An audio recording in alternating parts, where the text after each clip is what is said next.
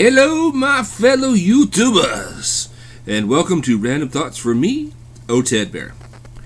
Now, being on YouTube a lot, I, you know, I tend not only do I put videos up on YouTube, I watch a lot of YouTube as well. And one of the shows I watch a lot is SourceFed's Table Talk. And one of the questions they got asked is, what would you do with a time machine? Which got me thinking. Now, among special abilities, the, the ability to move by will, or by TARDIS, or by Vortex Manipulator, or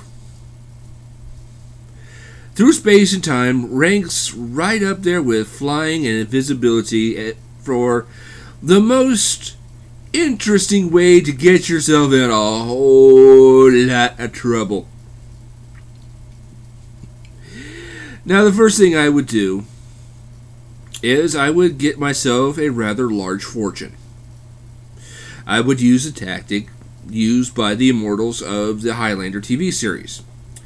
And what they would do is they would take a couple hundred bucks and put it into a bank, or about 10.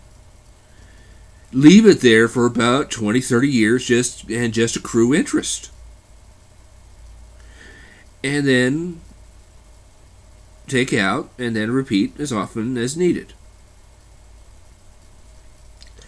Now, I wouldn't just get a Vandal Savage level of fortune to have a massive party.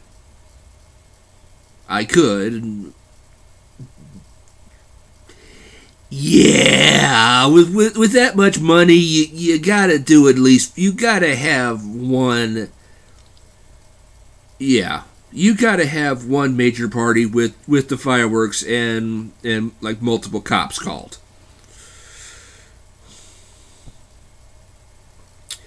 Never been never been to that type of party and might be fun.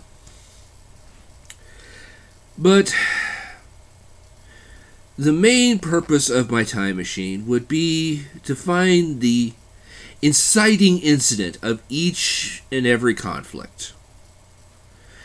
I mean, hell, we can't trust modern media to tell us what the hell happened 20 minutes ago. You think we can you think we need to get past the human history, the personal pain history of war and actually find the real the real cause. I got the idea from the from the the first part of the story, not the first chapter, but yeah, of the book Federation by uh, Judith Reeves Stevens. It's somebody's name, so I have to make sure I say it right, especially if I can't. Now, Admiral Kirk, before he goes uh, to send the Enterprise B on its way in the story Generations, or in the movie Star Trek Generations, he goes to the Guardian of the City of the Edge of Forever. Remember the the original series? You know the big donut, the big donut that lights up and says, you know, you know, I a question since before your sun burned hot in space. I've waited for a question to show show you different histories and stuff like that. Well, the research, the Federation, of course, has been researching the whole time. And one of the things they found was the reason behind a thousand year interplanetary war, which actually started when one ruler ran over the other ruler's pet. Which information brought red faces all around and brings me to the point of my time machine mission. Now, with generations using their personal history as the gospel of why we fight. My father, my father's father, my father's father's father's father has been in this fight, and that's why we fight. Hundreds, hundreds of years, and sometimes thousands of years of personal pain invested in a fight that keeps the fight going, which adds more people and more pain to the cycle, which keeps the fight going, which, you know. Now, if I'm making this sound like an endless bloody cycle from the bowels of hell, good. I, I am articulating correctly. Now, going back in time and trying to find the inciting incident would be a dangerous undertaking. But the possibility of actually finding finding a way to stop it, I think would be worth it.